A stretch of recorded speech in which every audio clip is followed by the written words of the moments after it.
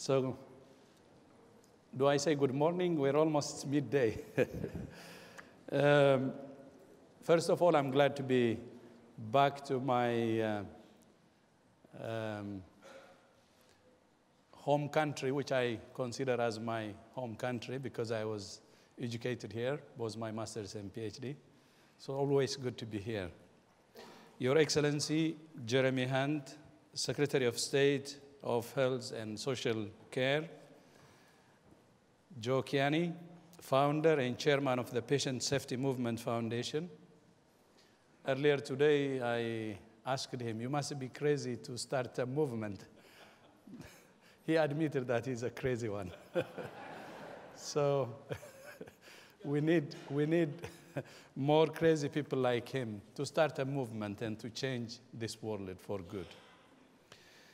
And Sir Liam Do- Donaldson, my colleague, uh, colleagues, friends, ladies and gentlemen, I would like to start by thanking you for the invitation to come and speak to you at this very important meeting. This summit is vital forum for bringing together hospital leaders, patient advocates, policy makers, government leaders, and the healthcare industry to discuss challenges, innovative new programs, and best practices to prevent medical errors and take urgent action to improve patient safety. And I would like to congratulate you, my brother Jeremy, for your leadership on this issue as the global ambassador for patient safety and for initiating a series of annual global ministerial summits to build political momentum for global patient safety.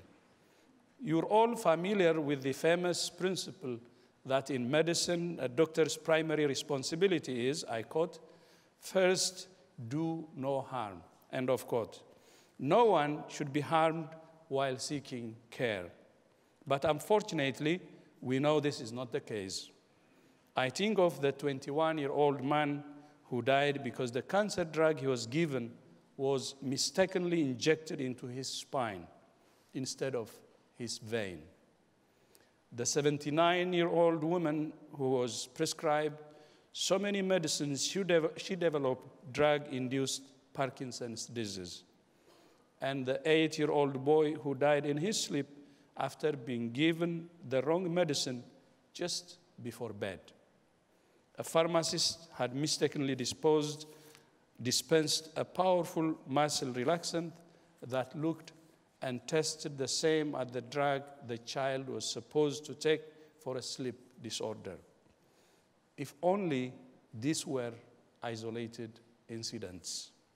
But the reality is that every year, millions of patients die or are injured because of unsafe and poor quality health care. Most of these deaths and injuries are totally avoidable. Adverse events are not estimated to be the 14th leading cause of death and injury globally. That puts patient harm in the same league as tuberculosis and malaria.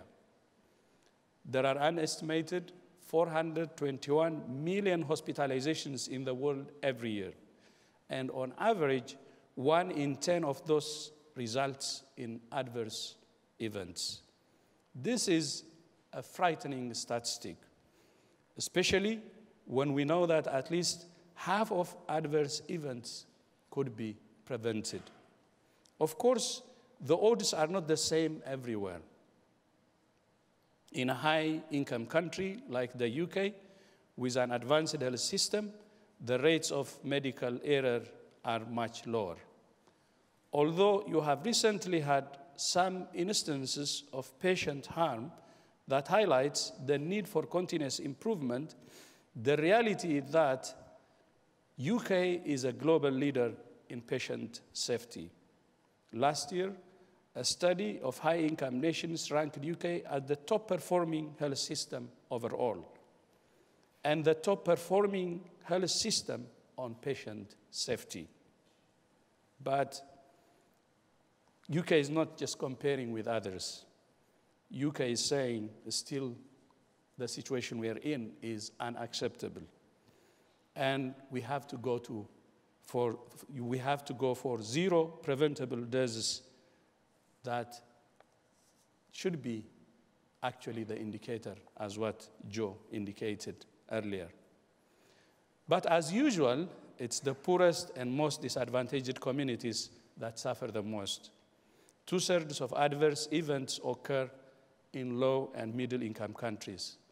They're the last to benefit from advances in medicine, but the most likely to suffer the consequences of medical errors. The harm takes many forms. People are harmed when health workers fail to clean their hands at the right moments using the right technique. People are harmed when injections are given using syringes that have simply been rinsed and reused to save money. People are harmed when medicines are mixed up or given in the wrong dose or at the wrong time. People are harmed when wrong procedures are followed before, during, and after surgery, or the wrong blood is transfused, or something as simple as the wrong gown is worn. The good news is that there are solutions to each of these situations. WHO has evidence based guidelines, checklists, and other tools that can be used to protect patients and health workers from harm. The, the needless suffering of patients and their families is bad enough, but each adverse event erodes the most precious resource in healthcare, and that's trust. When people aren't sure whether it's safe to seek care, they will cease to seek care. They will stay at home where their condition will get worse, or they will infect others, creating a greater, a greater burden of disease and greater costs for the health system. We saw this with devastating clarity during the West African Ebola epidemic in 2014 and 2015. Because of the perception that health services were unsafe, and in some cases they were unsafe, many of those infected chose to stay at home. This creates pockets of disease that spread through communities with tragic consequences. This is why we say that universal health coverage and health security are two sides of the same coin. When health services are not available or not affordable or not safe, the conditions are ripe for disaster. And of course, the economic costs of medical errors are astronomical. About 15% of all hospital activity and expenditure is a direct result of adverse events. And the costs of treating safety uh, failures amount to trillions of dollars each year. Here in the UK, the cost of excess patient day due to patient injuries has been estimated at more than 1 billion pounds. Let me, let me put it simply. Medical errors aren't just bad medicine. They are bad economics. The investments needed to improve patient safety pale into insignificance compared with the costs of harm. The question, therefore, is not whether we can afford the interventions that will keep patients safe. The question is whether we can afford the status quo. This is especially true in the case of medication related harm. As Jeremy has said, medication related harm is one area of patient safety where we can and must make a difference. Globally, the cost associated with medication errors alone has been estimated at 42 billion US dollars annually. Last year, WHO took action to address this major public health challenge by launching a global medication without harm campaign that aims to reduce severe avoidable medication related harm by 50% over the five years, as Jeremy indicated earlier.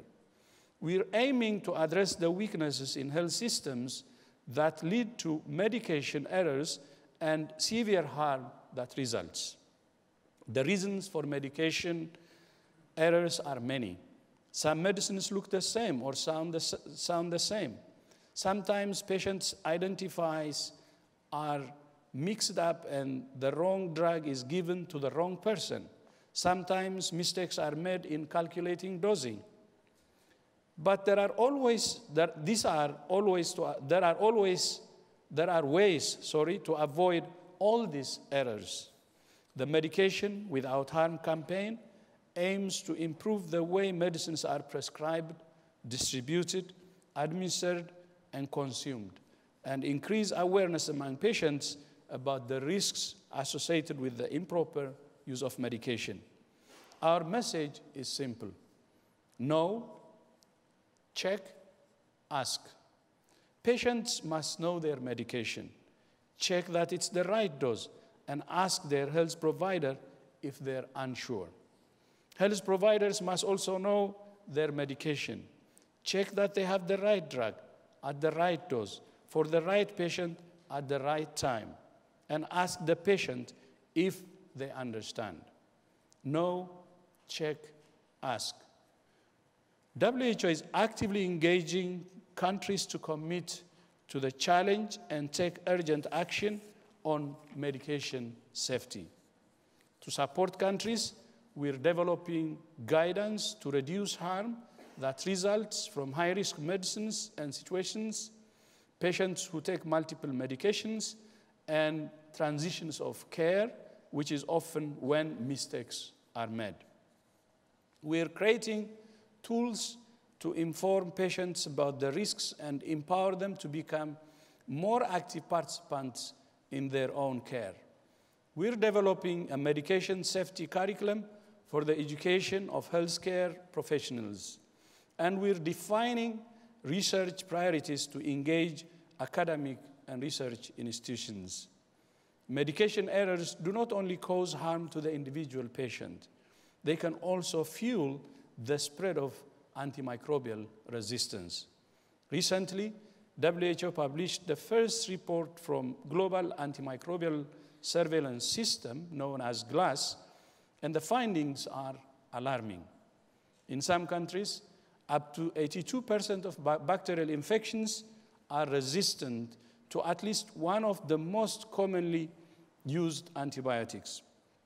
Medication errors are part of that story. When antibiotics are wrongly prescribed or are not taken correctly, it's not just the patient's health that's at risk, it's all of us. Ladies and gentlemen, there is no silver bullet for patient safety. There are no shortcuts, no quick fixes. But let me give you five building blocks that together create the environment in which errors can be avoided and people can be kept safe. First and most foremost, importantly, committed leadership is important. I think Jeremy and Joe have already said it, and Sir Liam too. Both at the national level and at the level of each individual health facility, we need leaders who will create a culture that puts patient safety at the apex of clinical care. Leadership to lay the right culture. I think um, it's unfortunate to be maybe a third or fourth speaker. Many of the things have, have been said, which I, I agree. And leadership, as has been said earlier, is central. Just as the aviation industry has made passenger safety its highest priority, and the construction industry has put a premium on the safety of workers, so patient safety must become part of the DNA of healthcare. That takes political commitment from the highest levels. Second, clear policies. Every health worker must know and understand the best practices based on the best evidence for keeping patients safe. This includes clear policies on reporting and learning from medical errors and what to do about them when they happen. A vital part of this is to create an open culture that increases the incentives for reporting adverse events and errors and removes the incentives for hiding them. In that regard, I also commend the UK for establishing a system for blame free reporting and a learning system. This is the kind of leadership that's crucial for creating a patient safety culture. Third, data driven investments. Robust data systems are vital for tracking what's working and what's not, so that we can learn and make adjustments continuously. Fourth, competent and compassionate health professionals in sufficient numbers. This is vital. Policies and systems are important, but in the end, health services are delivered by people, humans. Very often, harm happens not because incompetence or neglect, because of incompetence or neglect, but because health workers are tired and overworked.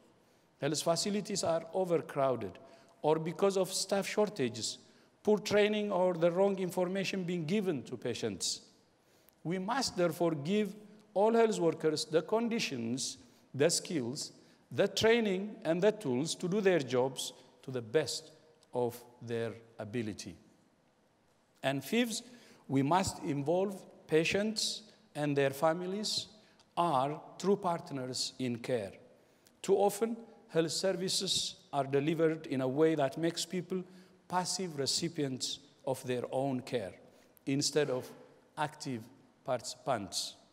When people are empowered to take charge of their own care, when they're listened to, informed, and consulted, when their needs and preferences are respected, the odds of errors and harm are dramatically lower.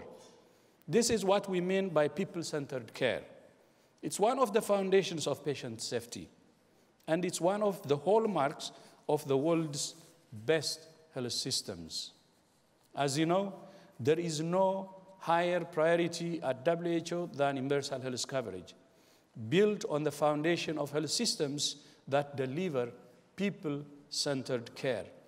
Ensuring that people can access health services that are safe, effective, affordable, and of good quality without fi facing financial hardship is one of the best investments a country can make. It's not only an investment in better health, it's a platform for stable, equitable, and prosperous societies. This year is WHO's 70th birthday. We were founded in 1948 on the conviction that health is a human right, not a privilege. And by a happy coincidence, this year is also the 70th birthday of the National Health Service here in UK. In many ways, the NHS is embodiment of WHO's vision and is living proof that with political commitment, universal health coverage is not a pipe dream, it can be a reality. I know the NHS is not perfect. No health system is or ever will be. I know you face challenges and constraints. I know that recently several incidents have focused attention on patient safety here in the UK. This is a good thing. It shows that patient groups, advocates, and the media are doing their jobs. Again, Jeremy, I congratulate you for the steps you're taking to ensure the UK learns from these experiences and puts measures in place to ensure they're not repeated. And the transparency you're introducing into the system, that's the basis to have a continuous improvement in the system. But for 70 years, the NHS has been ensuring that access to health services is a right for all Britons, rich and poor. NHS and you are a role model for the world. That's why I am proud that WHO and the British government are working together to improve patient safety in low and middle income countries by building leadership and the human resources to make a difference. Ladies and gentlemen, we all know that to err is human, but it's also human to care. It's human to want to do better. It's human to do our best to keep our brothers and sisters safe. As leaders, you have the power to affect, to affect change that saves lives and prevents needless, needless suffering. You have the power to make no one is harmed while seeking care. Those of you in industry can harness the power of innovation to develop technologies and tools that make us care safer and cost effective, as Joe had said earlier powerfully. Those of you who run hospitals can establish a positive safety culture by breaking down the structures that inhibit reporting and creating multidisciplinary teams that provide safe, people centered care. Those of you in government can put in place clear policies based on the best evidence to reduce the risk of harm, prevent adverse and events and errors, and ensure that when they do happen, they're reported in a blame free culture. Those of you who are advocates can continue using your voices to raise awareness of these issues and to keep us all accountable. Everyone has a role to play. Together, we must build strong leadership to create a safety culture and an open environment for blame free reporting. We must engage patients and families in their own care and foster better interaction between patients and providers. And we must share best practices and successful models. At the beginning of my remarks, I gave you three examples of people who were harmed or killed because of medical error. Each one is a tragedy, but each one has led to change that will help prevent the same thing from happening to someone else. The incident involving the 21 year old man who died because his cancer medication was wrongly administered led to changes that reduce the room of error. And a campaign called Just Bag It urges hospital pharmacies to prepare the drug in question in a small drip bag instead of a syringe. The 79 year old woman's daughter researched her mother's condition and realized she might have been suffering from drug induced Parkinson's disease.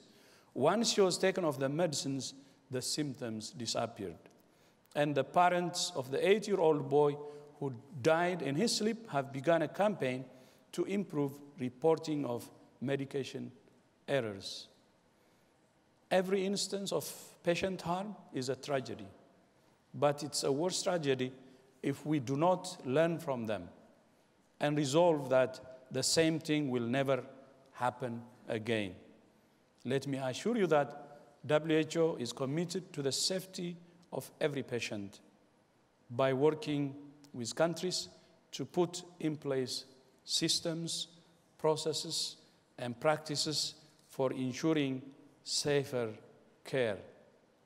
We are committed to working in close collaboration with the Patient Safety Movement Foundation and other partners to ensure zero preventable deaths by 2020. And I join uh, Jeremy to, to thank Joe for bringing us here all together, for starting the movement. And I also thank Jeremy for his leadership on this. We share the same vision that no lives are harmed or lost during the provision of health care. Together we can change the tide. Thank you so much.